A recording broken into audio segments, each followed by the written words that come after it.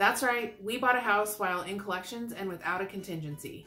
In this episode of our new home series, I'm going to be sharing what we did to be able to do that, the obstacles that we overcame along the way, the hard choices that we had to make, and what it looked like when we crossed the finish line, including all of the financial details. Yes, real numbers of the purchase of our new home.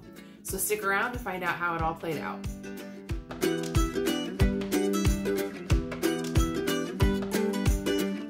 Welcome to the Budget Bounce. If we haven't met yet, I'm Jen, and we talk all about living life on a budget, saving for our future, paying down our debt, and all the life that happens along the way on our road to financial freedom. If that's something you're interested in, then make sure you hit that subscribe button down below and tap the bell so you'll get notified every time I post a new video. We've been working on getting our money right for three years now, and that's included paying down our debt, not taking out any additional debt, and building our, our savings, including like our emergency fund and our sinking funds, so that we have money to cash flow life and all the curveballs that it throws at us. And if you haven't been along for the ride, we've had a few of them along the way. And our hard work paid off when we decided rather quickly to buy a new home and closed on it just seven weeks later. All of this happened in spite of us both having collections accounts on our credit reports and we were able to buy our new home without the contingency clause to sell our, our existing home before we could close on the new home. And just two and a half years earlier, my credit score had bottomed out at about 515 during a family financial crisis that we went through that led to us doing all the things I'm about to share with you. So let me start with a little bit of the backstory about that. So in the it was like May or June of 2018, my credit score bottomed out at about 515. It might have dipped a little bit lower than that.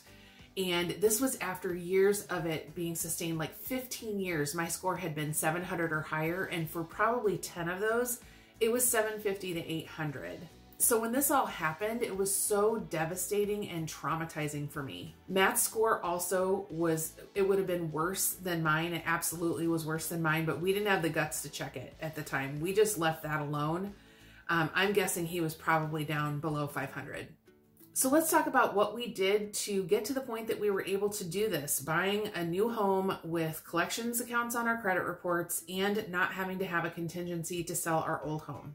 There were six key things that we did over that cor- the course of time. It was about two and a half years between, you know, when we started in February 2018 and when this all uh, came to a head in late 2020. So the first thing we did was we'd been paying down our debt. We had been working on that for almost three years, and by the time we started this process, we had paid off over 80,000 of our original starting debt. Now, the lenders couldn't see 80,000 anywhere. They don't see those numbers. What they see is what's left. And because it was significantly significantly reduced, it really helped our chances of being approved. The second thing we did was we stopped taking on new consumer debt. And this was really tough out of the gate because we were not in a good financial position. We weren't able to make all of our, our payments. Matt wasn't working. So we were down in income and we our spending habits were like crazy off the charts. We weren't tracking anything for 9 years, you guys. It was bad. The thought of not taking on new debt to help us, you know, get through the month was really scary and really hard. But you know what was harder and scarier was continuing with what we were doing. So we made it all stop right then and there. February 1st, 2018, we have not taken out any more consumer debt. The third thing we did was we always pay our bills on time and even early if we can. And here's the thing about that. In in the the depths of our financial crisis in 2017 and 2018, I was robbing Peter to pay Paul to get through the month every month and we stopped paying things not on not only not on time we were paying late and some things many things we stopped paying at all. I was 45 years old and had never not paid all my bills. This was an incredibly difficult time for me. I i really struggled. Matt was sick. I'm not saying he's not he wasn't struggling during this time. I'm saying he had a whole other set of issues that he was dealing with. So this is what I was going through. And it felt so good when we were able to, you know, come around the corner just a few months later after we started budgeting to be able to pay all of our debts, all of our bills, everything on time and have the money when we needed it. And we even started paying some things early. The fourth thing that we did is we have been very selective about what credit accounts that we use. So let me start by saying we didn't use credit at all for probably the first two years after all this started, but we started using it again for uh, rewards and for our credit scores because as much as I don't want to admit that the credit score matters, I want to be able to say that it doesn't matter. It does matter. It has impacted several things throughout our journey the last three years. And I just, I think that it is important that we recognize that because there are things that are completely outside of our control that the credit score affects, that your credit report affects. So when we started using credit again, we were very selective about the accounts we used, how much credit we utilized at any one time, and we pay the balance off. Actually, I don't pay it off every month. I pay it off like every other day. I'm going in and paying whatever is posted so that we are always showing that we are um, paying on time and that we are carrying very, very low balances, if any at all. And that shows our ability to manage revolving accounts and our credit worthiness. The fifth thing that we have done is we have worked to protect our credit scores and reports in terms of the number of hard inquiries that show up on it. And that really became kind of second nature and an easy win when we stopped taking out new consumer debt. The sixth thing that we did was we decided to make 2020 the year of savings for us. And we actually made that decision in late 2019 as we were planning for the upcoming year. And then of course the pandemic hit in March, April when when the world kind of started shutting down all around us here in the states and also in other parts of the world. And so we were really glad that we had shifted to focus on uh, building our savings and, and talking about like liquid savings, right? An emergency fund and our sinking funds and things like that. And we started contributing to our retirement plans again, which helped build up those accounts. But we had some obstacles in our way even with all those things that we've been doing well for the last two and a half years, there were things that we needed to overcome. The biggest thing was Matt and I both had collections accounts on our credit reports. Matt had 10 to 12 on his report, and I had one on mine. So the first thing I asked my mortgage guy when I got on the phone with him, yes, I have a mortgage guy. I've bought three houses. I've refinanced a couple of times you know, I've done this before. So I called him and said, Hey, listen, this is what we have going on. I'm just telling you, even before you run the reports, this is what you're going to see. What kind of impact is that going to have? And I let him know that if this was going to be a showstopper, we were going to not proceed because I'm talking to him, obviously, before we made an offer. And we didn't want to go any further if we weren't going to be able to get approved. We loved this house and we we did not want to get our hopes up only to be crushed later. And, you know, it's also the right thing to do when you are going through the process. You need to be pre approved. You have to be pre approved before you can officially make an offer anyway. So as we talked through it, you know, he, he, acknowledged that Matt's report was going to be problematic with so many accounts on it, but he wasn't concerned about my report with just the one derogatory account on it. And one of the main reasons is it was less than 10% of my total revolving installment debt that was showing up on my credit report. So, and on top of that, I had two years, over two years of payments that I had been making on it that I could provide proof of to show that I had been steadily working to pay that particular account down. So it became a non issue on my report. After that, we made the hard choice of not including Matt on the mortgage. There were a number of factors that played into that. One, including his score, it was in the low 600s and it was not going to help us. We were actually concerned it might hinder us in the rate and, and whatnot and in the approval process.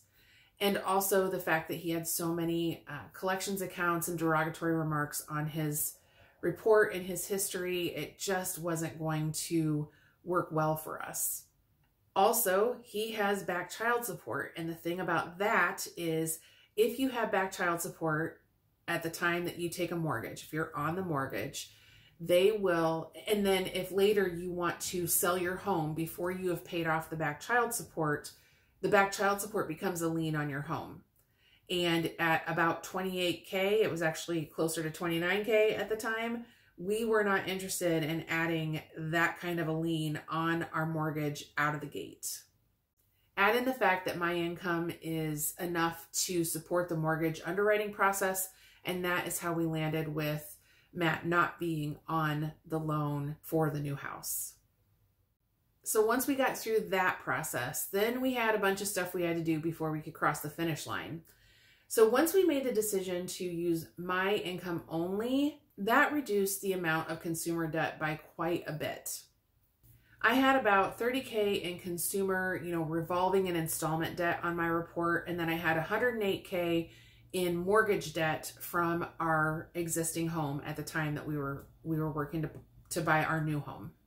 Add in my moderately high uh, income level as compared to the loan that we were trying to get and my much improved credit score, which was in the high 600s.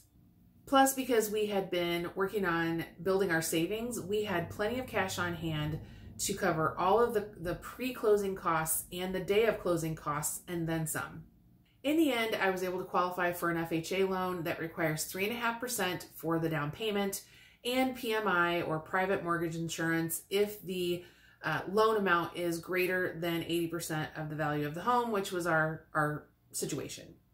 Plus, interest rates had dropped in our favor on the day that we were trying to lock in our rate and and you know uh, get get the ball rolling officially so we could make this offer. Uh, our lender was able to lock in 2.625% for us, and compared to the 4.5% that we're paying on the conventional loan we had on our old home, this was a fantastic rate, and we were really excited about that. And through all of those conversations, we also learned that we did not have to put a contingency clause into the contract when we made the offer. What that means is we did not have to put a clause in that said we would have to sell our old home before we could officially buy the new home.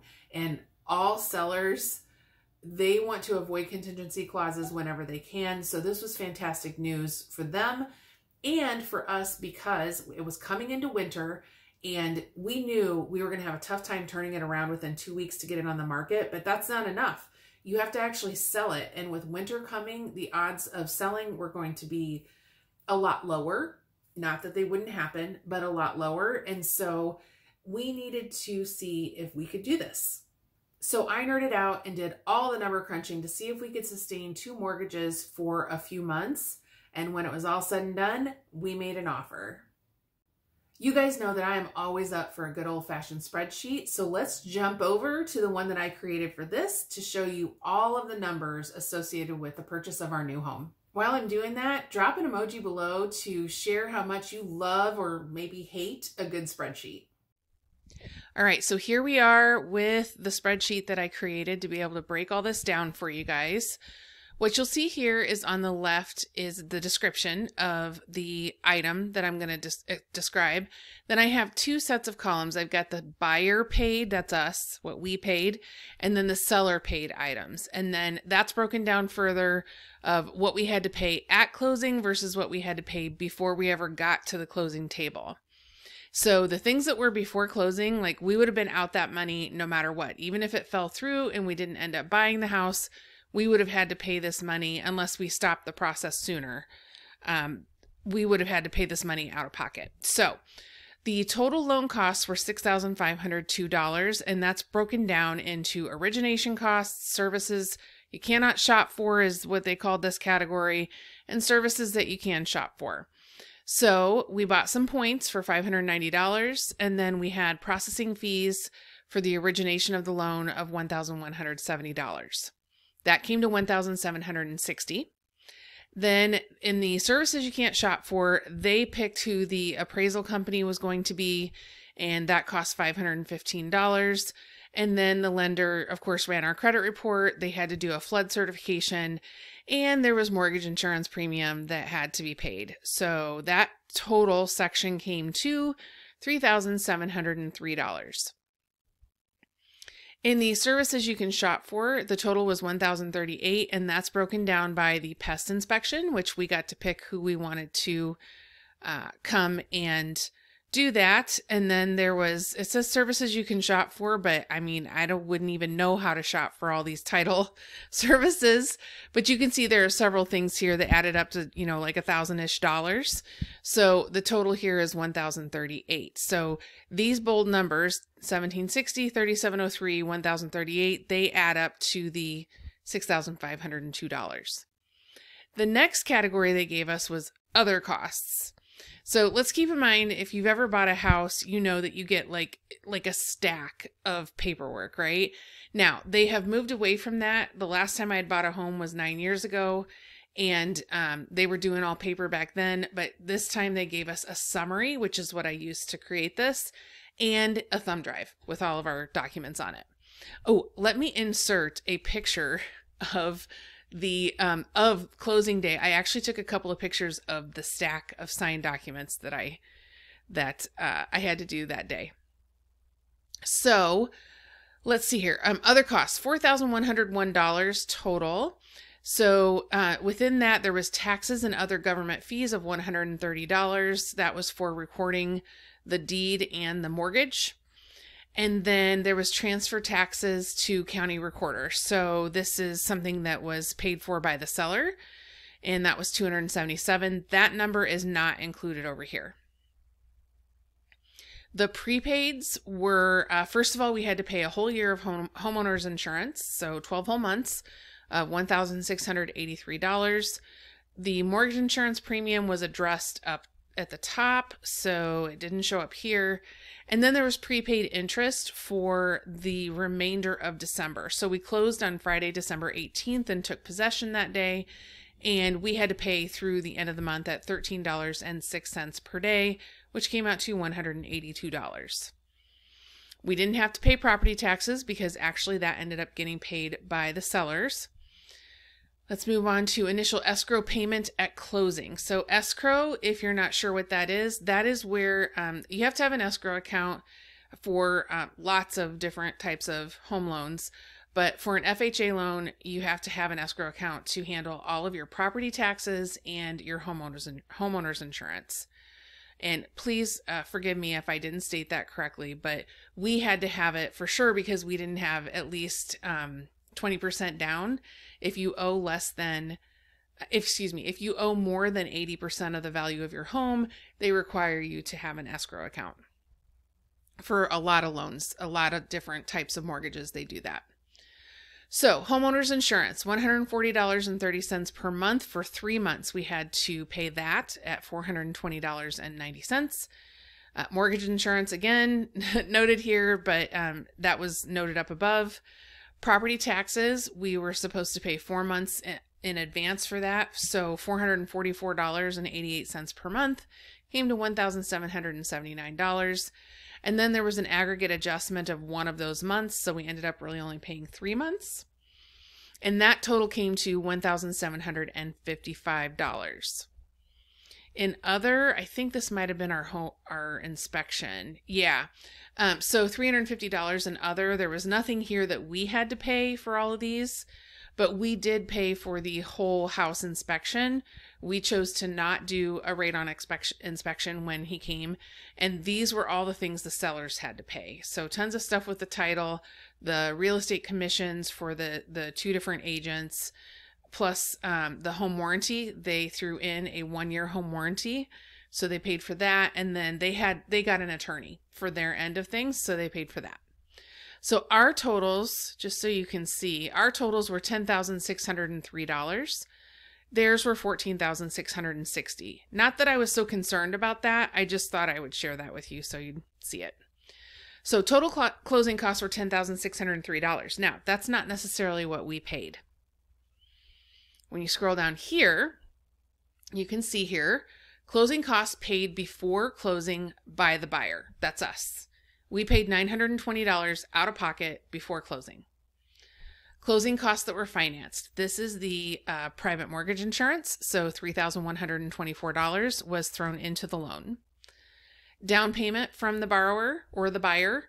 Uh, that's us, $6,475. This was 3.5%. I will get you the totals here in a minute. We put a $1,000 deposit down at the time that they accepted the offer. So it was earnest money, if you will. And we had negotiated that they pay $5,000 of our closing costs. So they threw in $5,000, which re- was really just a reduction of our loan. And then the property taxes paid by seller.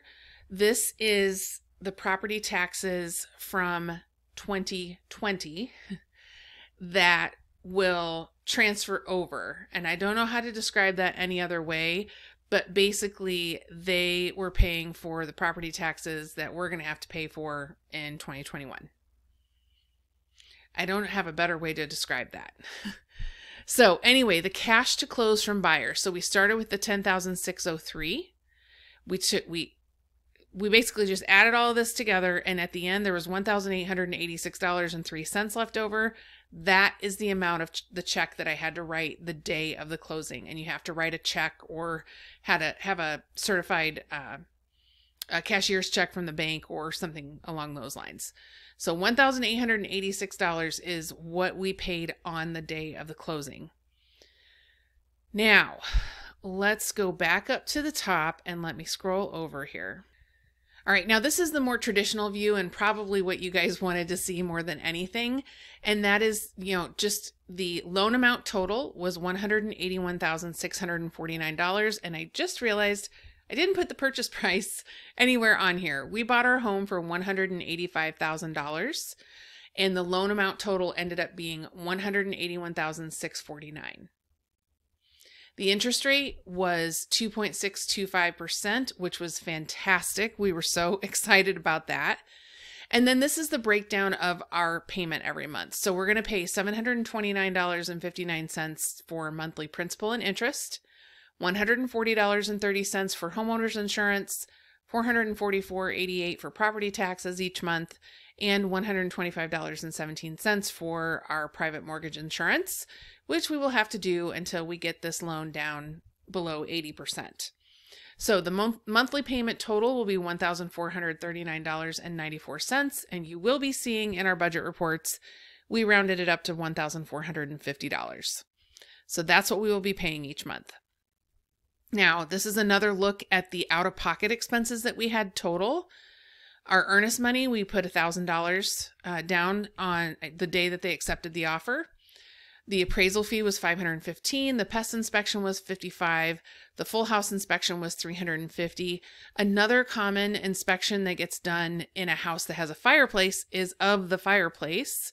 When we called to have that done, the it was funny because the our real estate agent actually called somebody that they knew and that she knew. And when she called and talked to him he said oh i was just out there just like five months ago. I was out over the summer. They were getting ready to list the house. And so they had me come out and do a thorough inspection. And I did several things. And I have the sales ticket. If you'd like to see it. He said I'd be glad to come out and do another another inspection for them, but I stand by my work. And I think it's in good shape and doesn't need to be inspected again. So we decided not to do that.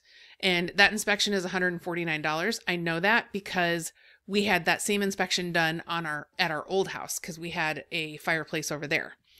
So we ended up not having to pay that 149 for the new house. So that was a nice little coincidence that she called the same place. And then of course we had our cash to close of 1,886.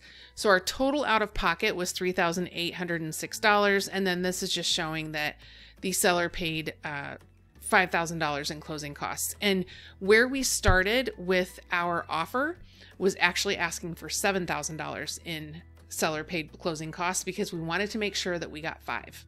If we could get more than five, great, but we wanted to make sure that we walked away with 5,000.